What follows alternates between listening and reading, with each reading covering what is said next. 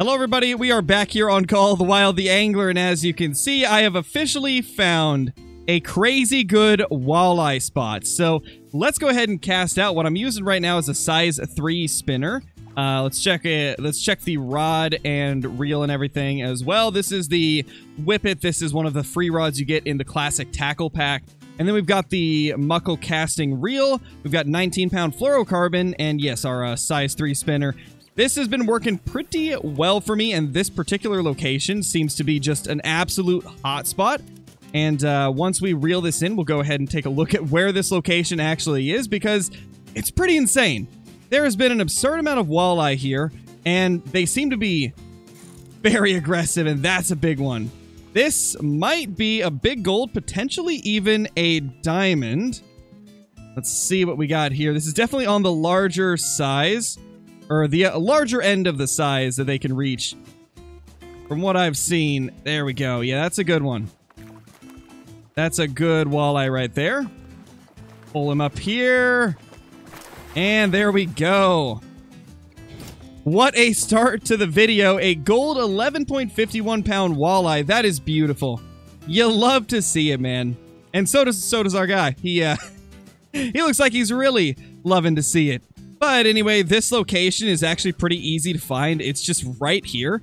Uh, basically, just fast travel to here or here and then run over to this little uh, mouth of the river where it kind of transitions into this little uh, pond or lake or whatever you want to call it. This is a walleye hotspot and best results are going to be at night, of course, because this is a uh, nocturnal fish for the most part. You can catch them in the day, but you're going to catch a lot more of them at night. And uh, ever since it became like dusk, we have seen a lot of crazy walleye action to the point where I just had to make this video. There we go. We got another one on. Okay, that that's definitely a diamond. That one is definitely a diamond walleye. He is fighting insanely hard. Way harder than that gold was fighting. Is that a lake trout right here? It's a lake trout. Are you kidding me? Are you kidding me? All this for an average size lake trout. That is crazy. Or, yeah. Man, that's actually kind of unfortunate. But, I mean, it is what it is. On that note, let's go ahead and take a look at the diamond walleye that we ended up catching uh, shortly before starting this video. Oh my gosh, is that... Oh, that looks huge. That looks like a monster. That might be a diamond walleye. Oh my gosh, that looks like a diamond walleye. Or at least a really big gold. That is huge.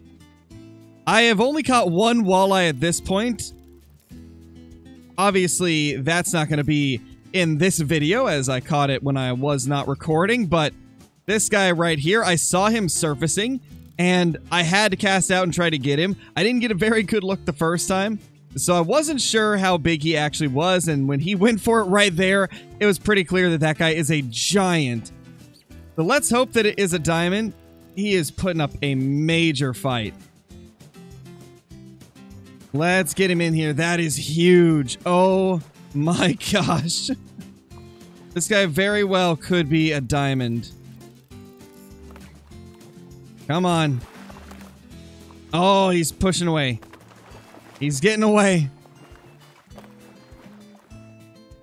There we go. There we go. And we have landed him. Please be a diamond. It's a diamond! Let's go. 16 pound diamond walleye. Our first diamond of the new update.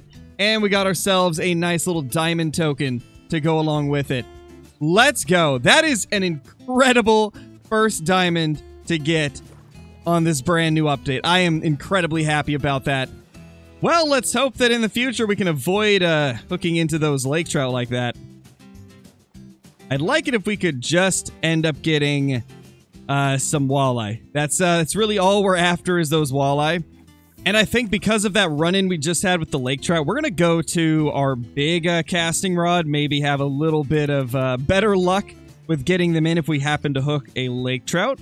There we go. We finally got another walleye going for it. I had to go to a size 5 spinner. I guess there's just nothing big enough in this spot anymore to catch uh, stuff on the 3. I'm assuming size 3 spinner is going to be gold and diamond only. But uh, size 5 will get the silvers, it seems. And there we go. We got another walleye on finally. Let's see what this guy ends up being. Uh, looks like it's actually not a walleye. Is that a rainbow trout? I think it's a rainbow trout. No, it's a little tiny lake trout. Man, we keep getting the lake trout while we're trying to get the walleye. Yeah, I mean, it's not too big of a deal, though. We get a lot of money for the lake trout, so can't be too mad about it either. There we go. We got another fish on. Let's see what this one ends up being. I think that one is a walleye. It was going way too fast for a lake trout, I think, but I could be wrong. Yeah, I'm wrong. What do you know? Another lake trout. we are getting so many of these. Oh, there we go. I did not even see the fish going for it. That is uh, one of the things that is just been changed with this update. That is... Whoa, whoa, whoa, whoa. We got a sturgeon. Wait, we got a sturgeon. Oh my gosh. We got a shovel-nosed sturgeon.